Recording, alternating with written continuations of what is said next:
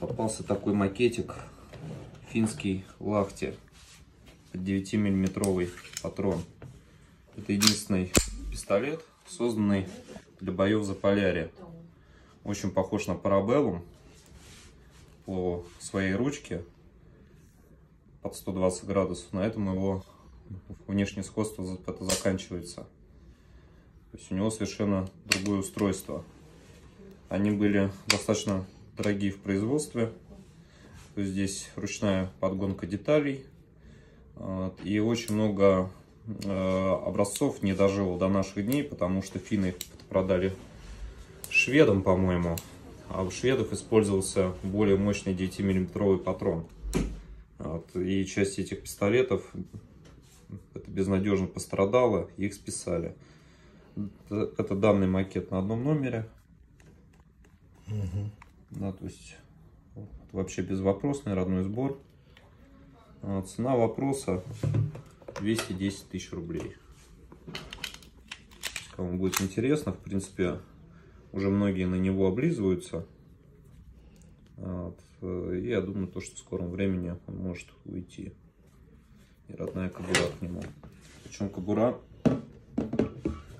она тоже шикарно сделана.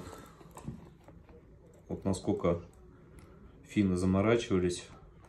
Не стальные, а именно бронзовые. Это карабины для заснеженного леса.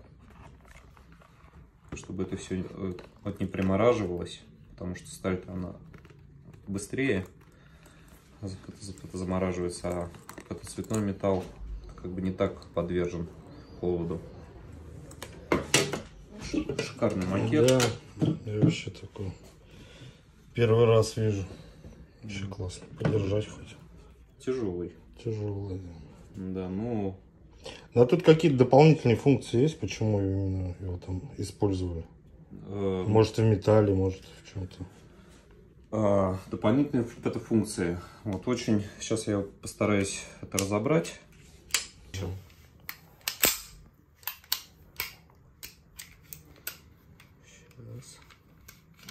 Вот он достаточно легко разбирается. Да, то есть тут видно все основные части выведены из строя. Без капли сварки. Казенники. Стоит штифт в стволе. Заварен патронник. То есть это ранний диактив. Э, очень мало фотодеталей. Э, то есть гораздо меньше, чем в парабеллуме. Это, соответственно, уход это за ним и э, так сказать минимальный, да? Да уход, э, уход минимальный. И, соответственно, когда будет попадать грязь, снег, вот он будет замораживаться, но он будет работать. То есть, ну, он очень дорого обходился в производстве. Это, по-моему, их было два выпуска. Это на 43 год, судя по серийному номеру. Или на 42 год. Ну, точно военный.